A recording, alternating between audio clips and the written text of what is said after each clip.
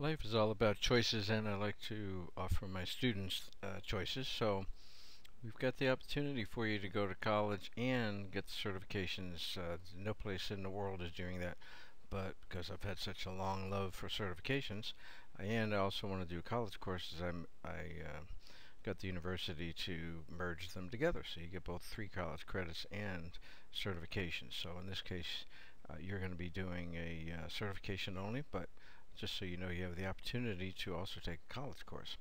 Uh, so the next slideshow will show you the four courses that we're doing now in the first what they call a concentration. In uh, probably January I think the term begins uh, we will start January 2012 we'll add restaurant management for the uh, ESTER Certified Food Service Professional certification beverage management for the Certified Beverage Management certification customer service for certified in customer service and uh, one that doesn't have a certification attached to it, Introduction to the Hospitality Industry. So there'll be a total of eight courses ultimately and 24 college credits. In this concentration of courses, there's four courses and you'll be able to get four certifications out of that. One in food safety, one in HACCP, one in culinary nutrition, and one in culinary arts. So you'll get 12 college credits and four certifications. Those, particularly the HACCP one, and in the next concentration we're going to be doing a restaurant management one, those have gotten people jobs. Young people in the military got out and guess who worked for them? The executive chef because the chef didn't have those certifications. So they're extremely helpful. Getting promotions, pay raises, a uh, quick way to zoom up the career ladder is to get these certifications. So they really help a lot. And they help our customer because you're going to provide them better service. You're going to know more about nutrition. You're going to know more about culinary. So it's, it's really a, an awesome thing for everybody. It helps your workplace and it helps your customers and it helps you.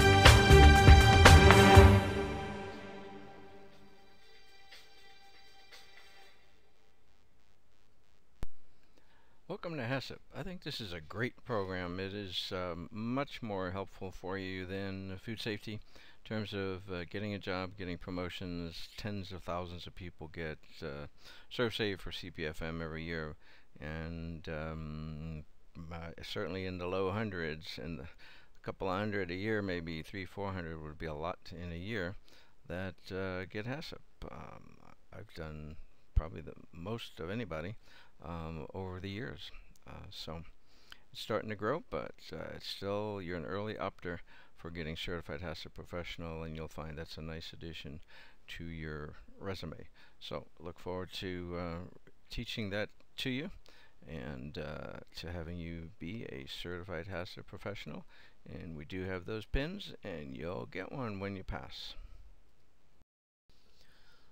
Certified HACCP Professional is from the Global Food Service Institute at the State University of New York, SUNY, at Morrisville. Training presented by moi, that would be E.H. Manley and Associates. And uh, we work in cooperation with Pearson Learning Solutions, which is the world's largest developer of workforce development uh, products. And so we're very proud to have them as our partner. We got all great partners and uh, well-known names. HACCP class includes an overview of HACCP, where it came from, where it is, where it's going, discussion of the hazards, biological, physical, and chemical, the five preliminary steps of hazards of uh, HACCP, the things you need to do to get ready to put your HACCP plan in place, the seven principles of HACCP, and then we'll work on a practice HACCP plan.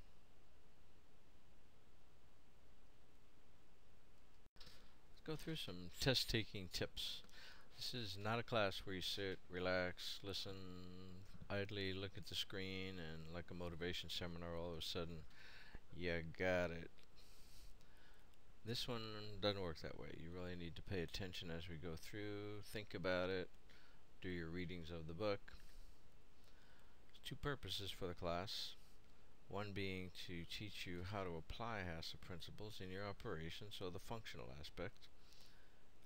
And the second is to pass the test. And I'm not embarrassed to say that my goal for this class and my teaching techniques leans towards number two, uh, getting to be able to pass the test. You got the rest of your life to be an awesome HACCP manager. You got this class to get you to be a certified HACCP uh, professional.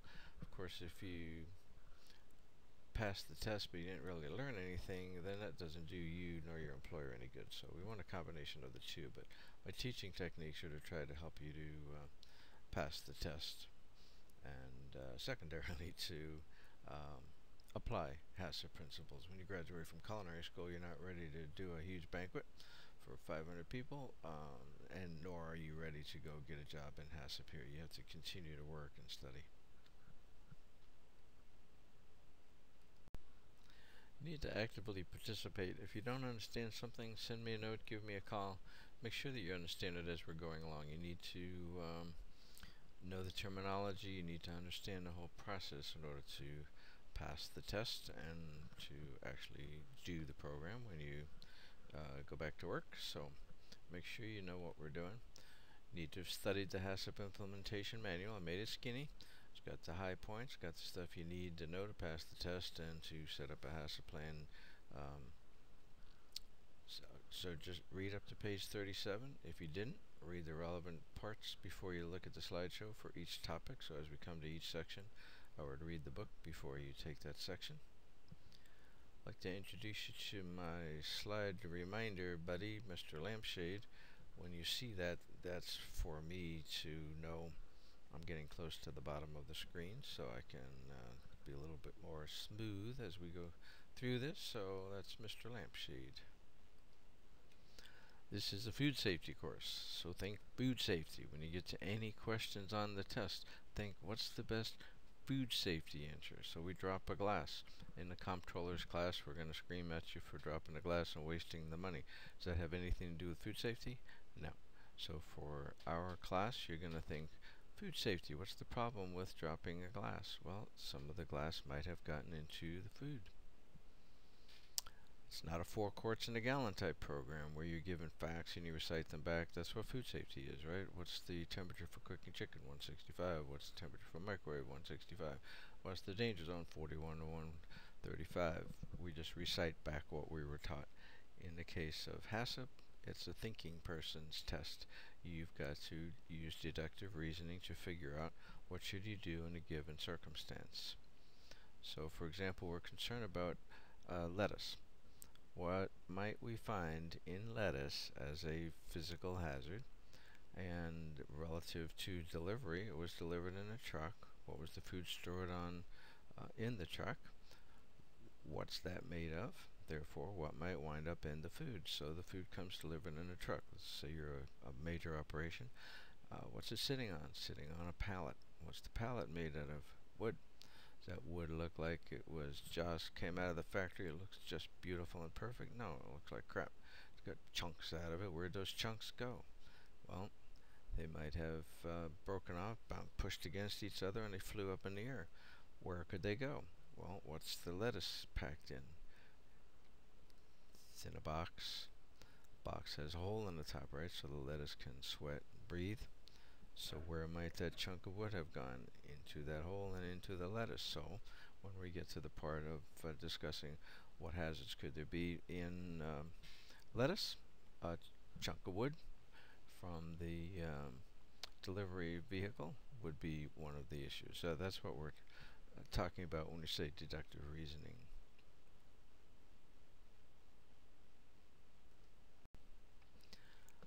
HACCP is all about setting up procedures for everything and following those procedures.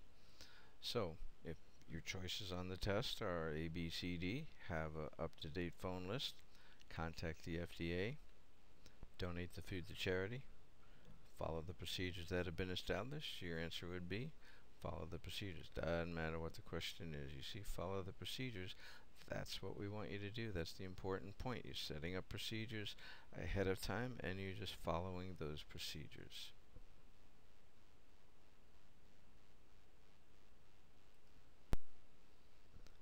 This course assumes you've already taken and remember basic food safety issues. You've had ServSafe, CPFM, um, so we're assuming you know that, so we're not going to teach you that. But just in case you've forgotten, let's get our brains into the material and go over some reminder slides for things that you might come into um, contact with on this test and for this certification. Salmonella, very commonly found in poultry. Egg products, 1 in 20,000 eggs is infected. Raw meat. Salmonella is an infection, causes severe cramping, fever, and diarrhea. For the purpose of the uh, HACCP exam, mostly they're just going to be asking you or expecting you to know where do you find salmonella, which would be in poultry.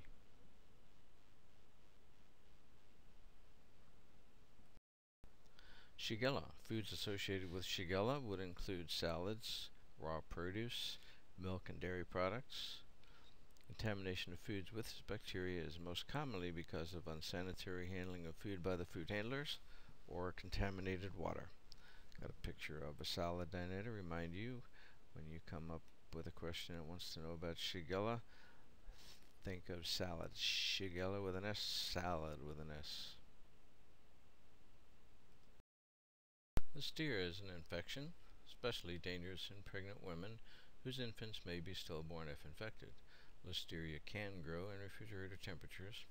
Sources for listeriosis are in inadequately pasteurized milk, deli meats, hot dogs, and other refrigerated ready-to-eat foods.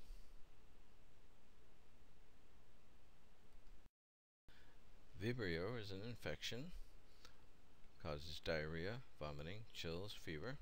Usual source is raw shellfish or improperly cooked fish.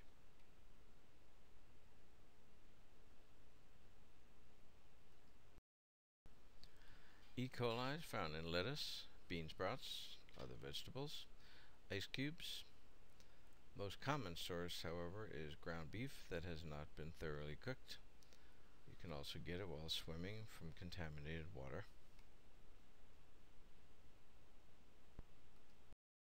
Staphylococcus aureus. Staph is an intoxication commonly found on the skin, nose, and hands of 50% of all people. Therefore, if people touched food with their hands, such as making a sandwich or a salad, there might be staph on that product. Causes severe cramps, diarrhea, and vomiting. This is a good time to mention. Remember the difference between infection and intoxication. Infection is from eating the bug. Intoxication is from eating the bug's poop, or toxin, or chemical. Infection takes a while, like an infection on your arm, takes 24, 48, 72 hours to happen. Intoxication happens fast because it's ready to go. Clostridium botulinum or botulism is an intoxication. It's anaerobic, meaning it can live without oxygen, does not require oxygen commonly found in the soil, does very well in canned foods where the oxygen has been processed out, but the bacteria doesn't need oxygen, so it continues to grow. Don't open swollen cans, or if you do, don't taste the contents. Untreated botulism is the most deadly foodborne illness.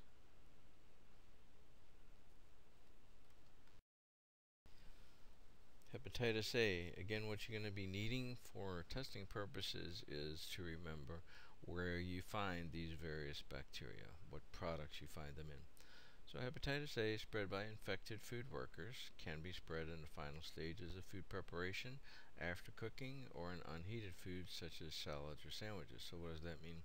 After cooking means that the chef can do a perfect job back in the kitchen of uh, washing hands, clean, sanitize the cutting board and everything.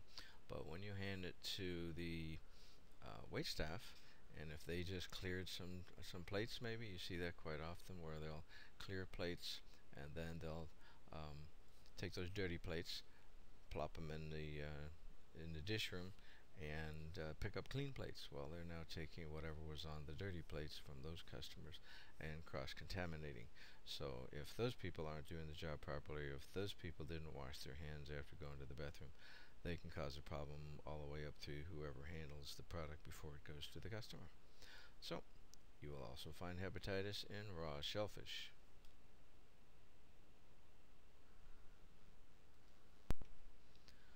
Norovirus. Used to call it Norwalk virus, now we call it the norovirus.